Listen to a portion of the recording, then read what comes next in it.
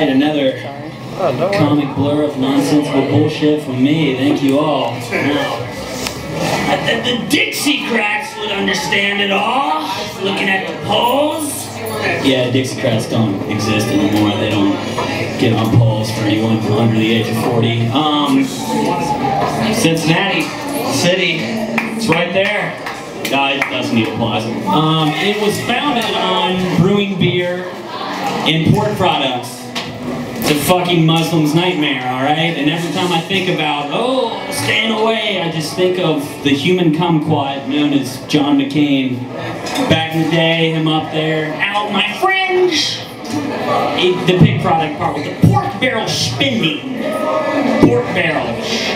I like pork barrels, you know why? Because you know the terrorists will stay out of those barrels, am I right? Real funny, John. You know what I think is funny? This. you know why? Because I can do it, and you can, alright? Put fucking monkey bars in your front lawn. See how funny that is. Yeah. Well, anyways, let's segue back to the small world. Um, yeah, uh, last time I was here, Three Inches of Blood was playing in the ballroom. Um, they're a little bit like the band playing now. Um, they're probably a little bit softer, but you know, close. Uh, and there was some dude in there came in all huff and tough. Man, I don't like metal, man. Yeah. Fuck is his problem, man? Jesus, man, it's, it's fucking awesome. All right, metal is the only genre of music where you don't express your love for it by going, yeah, all right. You try to pummel the shit out of the guy next to you, be like, fuck yeah, oh, that riff is awesome, man. Oh, jeez. Oh, oh, this is my favorite song. I hope you're about ready to die. All right, fuck, I'm gonna get a gun. Still my favorite song, just because you're lying. They have things like that. The funny part was there actually is like the scary metal, like the one that Nancy Reagan actually was referring to when she said don't listen to it. There was seriously an opening band called Soul Ride. There's always like cool, nerdy, just metal dudes of all kinds doing each different style. And then there's like the one out of 20 bands who are like the trailer trash, just like I'll talk about like what happens in the Cannibal Corpse song, like Hatchet to the Throat. Like, oh, it's pretty fucking cool, you know, like a horror movie, and they're like, yeah, it's kind of fucking cool because I've done that like 14 times, man. It's like, oh, that's really fucking weird, actually. And then the, the best part was that this dude literally looked like the corpse of Billy Ray Cyrus. Uh, if Billy Ray Cyrus gained like an extra 7,000 pounds and then died and then came back to life and then got out of rehab for crystal meth or some shit. But the weirdest part was that his mullet also looked like it just got a rehab from meth. It was like a fucking dead raccoon just hanging down on the side. I was like, I really don't want to hear a song from you about like murdering people and you know worshiping Ed Gein and other you know uh, delightful citizens like that. But uh, there's one thing. It, the, the, the show Headbangers Ball. Uh, I don't even know if it's a show anymore, but uh, we all have YouTube. You can watch fucking anything. Uh, and the one, and remember on there, Rob Zombie pointing out, like, yeah, you can, Headbangers Ball is actually kind of weird. You can watch anything from Bon Jovi to Napalm Death on there. And, uh, yeah, one of the things that, you know, I don't really like any, like, the hair metal band, well, they're extremely entertaining, but I just don't really like them. Uh, but he, they, you know, they talk about the strip clubs and all the big parties and champagne. I legitimately do not get strip clubs at all. I guess I'm the biggest fucking pussy around, whatever. But honestly, don't get why on earth you would want to have a tree trunk boner getting grinded on and have absolutely no thought of sexual release unless you're like a weird fucking deviant who gets off on like prematurely coming. Joke's on you! a lot cheaper than a hooker, alright, so I don't know, I guess that's cool. But uh, yeah, there's there's a lot of that shit. I also like to point out that phrases, you know, so many douchebags are obsessed with getting pussy, but they never they fear mortally being a pussy, you know? Most people don't chase after incessantly what they don't want to become, you know, like dreams or something. Uh, most people, you know, if you were a pussy and you were trying to get some, it would really be a delightful spin on the phrase "go fuck yourself." All right, sounds like something that would come at the end of like a Billy Graham segment or something.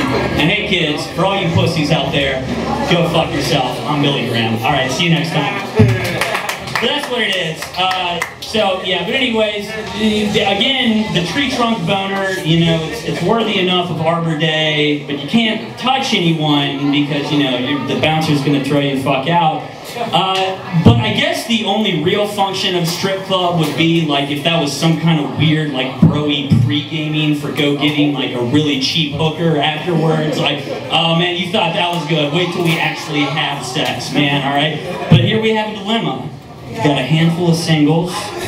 You don't know. You don't know. You know, you want to spend some decent amount of money so you don't get, you know, AIDS or some shit or a, hypodermic needle stuck in your dick or something. But, you know, I think the singles is what's keeping the dollar menu hookers in business, all right? So, hey, maybe the strip clubs are just keeping around crack whores and meth addicts. I still don't know. It's about the third time I've referenced meth. Uh, no, uh, coincidence or nothing. Anyways, Moving on to another uh, fatally fun topic of mine. Does anyone remember the oh so fun treat that was referred to as freedom fries? Now, I didn't really get down with freedom fries for like, yeah, we'll show the French.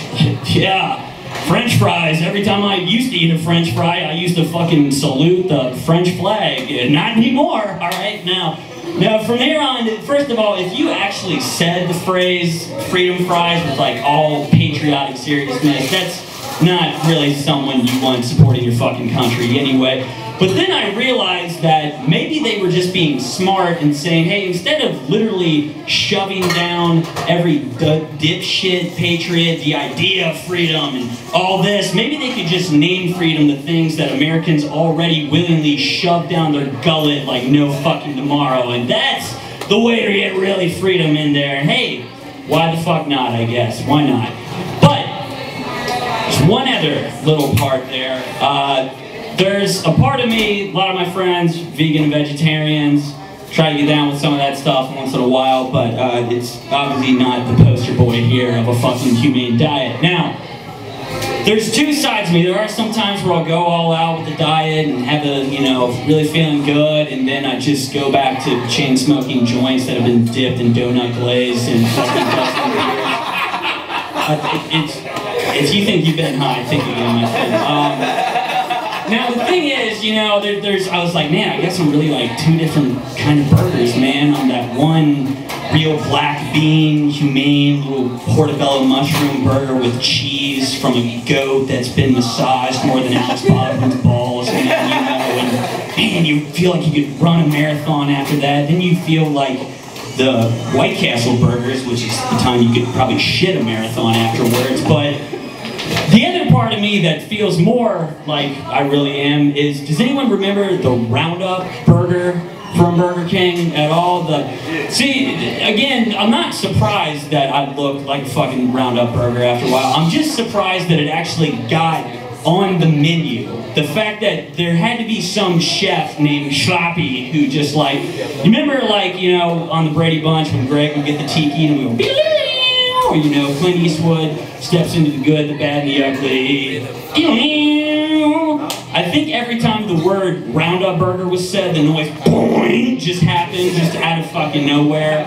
And uh, when he, when this dude named Sloppy walked in there, you know, boing, he's like, well, uh, yeah, my name's Sloppy. Uh, let me tell you about uh, the newest product we have. Um, you take the uh, fat beef patty, uh, set a couple melted cheese on there, uh, a little barbecue sauce, you know, hence the name Roundup, and, uh, well, I figured I might as well round up a couple rings, because, I mean, fuck it, you only live once.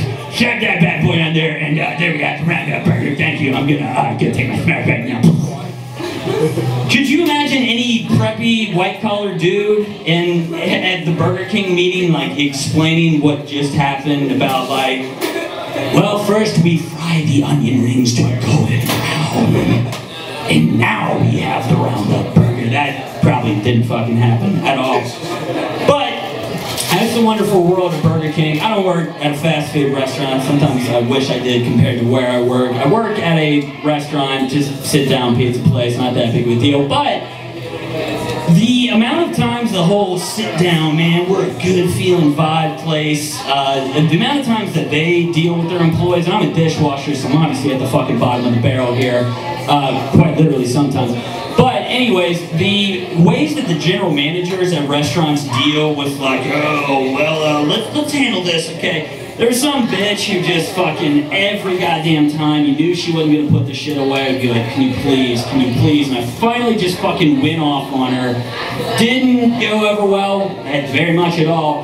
Came back, and then the boss was like, oh, yeah, uh, Marc, uh, uh, you know, uh, mad so much, uh, you know, try, try to communicate a little bit better. And then it occurred to me that no matter what this bitch fucking did, she could have taken a shit on my face the boss would have still said the same thing along the lines of, uh, yeah, uh, Marc, uh, yeah, just real quick, uh, understand, uh, Shitty, uh, kind of took a dump on your face, okay? Um, it's a little gross, I meant, okay, uh, but just remember, um, we're all a team here, okay? So, you know, you know, occasionally team members uh, take shits on people's faces, all right? Um, we still want to hit a home run at the end of the night, okay? So, uh, just remember, uh, Dewey's all the way, okay? Thank you. Uh, uh, and, uh, you know, if someone, if you see a turd coming, um, just, you know, communicate a little bit better with the turd. Uh, maybe you'll have some better outcome. Just, just be okay. Well, someone mentioned a strip club buffet combo. It's a little ironic because we actually, I actually have a pretty good friend who talked about going to a strip club in Lawrenceburg and did not have a single complaint about, you know, the titties and the girls or any of that. He just came back and told me that the food there was terrible. And I said, you went to a fucking strip club. You should be happy there wasn't cum in there. What are you talking about? The food was bad. Did, do you think that's the first time the bouncer, like, uh, sir, sir, oh, oh God, I'm sorry, did, did the girls do something? did they, I hope they didn't cook this. You can't is, is this gonna, can I see a menu, please?